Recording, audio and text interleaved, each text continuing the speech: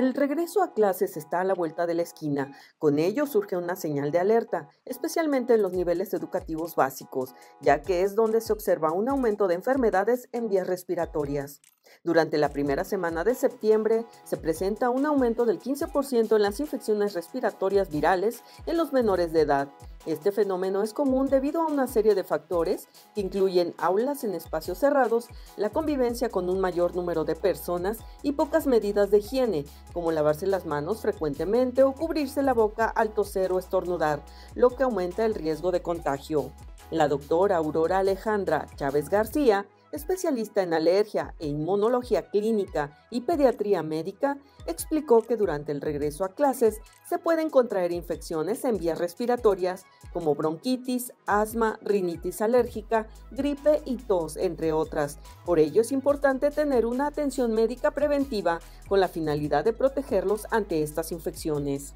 Durante el regreso a clases, se crea un ambiente propicio para la proliferación de virus respiratorios que pueden afectar a los alumnos de educación básica, debido a que tras el periodo vacacional, el sistema inmunológico puede ser más susceptible a una exposición de nuevos patógenos que no tenían en casa al ser un entorno más controlado. Esto podría aumentar el número de infecciones y las principales manifestaciones son tos, congestión nasal, fiebre y dolor de garganta. Para mitigar estos riesgos, es necesario que los padres de familia tomen medidas preventivas que incluyan el uso de cubrebocas para reducir la propagación de enfermedades, reforzar el sistema inmunológico a través de una dieta balanceada, actividad física, dormir lo suficiente o ingerir, bajo la supervisión de un médico experto, medicamentos especializados como tratamiento coadyuvante y estimulante para inducir una protección más eficaz. En ese sentido,